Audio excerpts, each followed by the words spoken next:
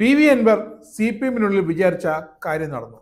അൻവറിനെ കൊണ്ട് അത് ചെയ്യിപ്പിച്ചുകൊണ്ട് ലക്ഷ്യവും നടന്നു. പക്ഷേ അധികം താമസിയാതെ തന്നെ അൻവറിനെ കൊണ്ട് ഇതൊക്കെ ചെയ്യിച്ചവർ പിടിയിലാകുമെന്ന് ഉറപ്പ് അവർക്കെതിരെ പാർട്ടിയിൽ നടപടിയും ഉണ്ടാകും.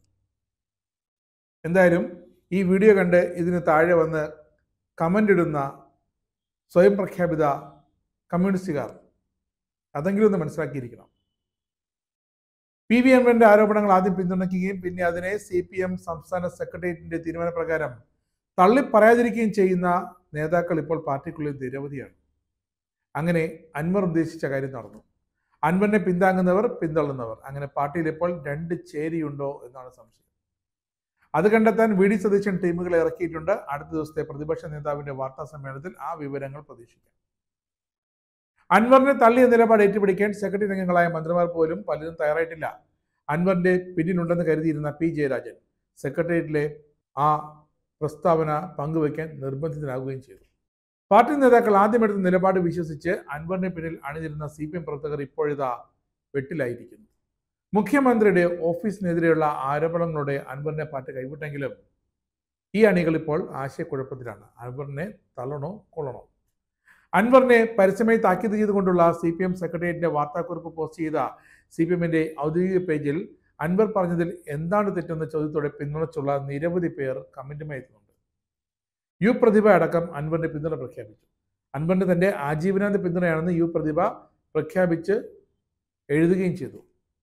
ഇതൊക്കെ പക്ഷേ വരും വഴിയെ പാർട്ടിക്കുള്ളിൽ വിലയിരുത്തലുകൾക്കും നടപടികൾക്കും ഇടയാക്കുമെന്നതിൽ ഒരു സംശയമില്ല എ ഡി ജി പിക്കെതിരെ പി വി അൻവർ ആരോപണം ഉയർത്തിയപ്പോൾ അൻവറിന്റെ ആരോപണങ്ങൾ ഗൗരവമുള്ളതെന്നായിരുന്നു അത് അന്വേഷിക്കുമെന്നായിരുന്നു സംസ്ഥാന സെക്രട്ടറി എം വി ഗോവിന്ദൻ മുന്നണി കൺവീനർ ടി പി രാമകൃഷ്ണൻ എന്നിവരുടെ ആദ്യ പ്രതികരണം. എന്നാൽ തൊട്ടു പിന്നാലെ എ ഡി ജി പിക്കെതിരെ വിജിലൻസ് അന്വേഷണം ഒഴിച്ച് മറ്റൊരു അന്വേഷണവും തൽക്കാലമില്ല എന്നായിരുന്നു മുഖ്യമന്ത്രിയുടെ നിലപാട്. പി ശശിക്കെതിരെയും അത്തരമൊരു അന്വേഷണം ഇല്ല എന്ന് മുഖ്യമന്ത്രി നിലപാടെടുത്തു. സി പി എം ആ നിലപാടിൽ ഇപ്പോൾ ഉറച്ചു നിൽക്കുന്നു. അൻവറിനെ ആദ്യഘട്ടത്തിൽ സി പി എം നേതാക്കൾ പിന്തുണച്ചു നിന്നത് ആഭ്യന്തര വകുപ്പിനെ വീണ്ടും കടന്നാക്രമിക്കാനുള്ള ലൈസൻസായി അൻവർ എടുത്തതോടെയാണ് പാർട്ടി അൻവറിനെ തള്ളിപ്പറഞ്ഞത്. ഇതോടെ അൻവറിനെക്കാൾ വലുതാണ് പാർട്ടി. അൻവറിനേക്കാൾ കരുത്തൻ സംസ്ഥാന സമിതി അംഗം P ശശിയും A D G P Ajith കുമാറും തന്നെയെന്ന് അൻവറിന് മനസ്സിലായി. അതിന് വിട്ടാൽ അൻവറിനെ പാർട്ടിയിൽ നിന്നും കൈവിടേണ്ടി വരുമെന്ന സൂചന അദ്ദേഹത്തിന്റെ പരാതി ചർച്ച ചെയ്ത ആ സെക്രട്ടറി യോഗത്തിൽ തന്നെ മുഖ്യമന്ത്രി അറിയിച്ചിരുന്നതാണ്. ക്രമസമാധാന ഭരണ ചുമതലയുള്ള എ ഡി ജി പിയെ പോലീസിന്റെ ഒരു കൊള്ളരുതായ്മയുടെ പേരിൽ വിചാരണ ചെയ്യുന്നതിനെ ആരും എതിർക്കുന്നില്ല. പാർട്ടിയും എതിർക്കുന്നില്ല. എന്നാൽ മുഖ്യമന്ത്രിയുടെ ഓഫീസിനും സംസ്ഥാന സമിതി അംഗത്തിനുമെതിരായ ആക്രമണം അത് സർക്കാരിനും പാർട്ടിക്കും ഏറെ ദോഷം ചെയ്യുമെന്ന് വളരെ പാർട്ടിക്ക് വളരെ വ്യക്തമായ സാഹചര്യത്തിലാണ് അൻവറിനെതിരെ മുഖ്യമന്ത്രി സി പി എം ഒക്കെ പരസ്യ നിലപാട് സ്വീകരിച്ചത്. അതുകൊണ്ട് തന്നെയാണ് അൻവറിനോട് മൃദുസമീപനം പുലർത്തി വന്ന പൊളിറ്റ് ബ്യൂറോ അംഗം എ വിജയരാഘവനെ തന്നെ മുഖ്യമന്ത്രിക്ക് ശേഷം അൻവറിനെ തള്ളിപ്പറഞ്ഞ് രംഗത്ത് വരാൻ നിർദ്ദേശം നൽകിയതും അതും പാർട്ടി തീരുമാനം.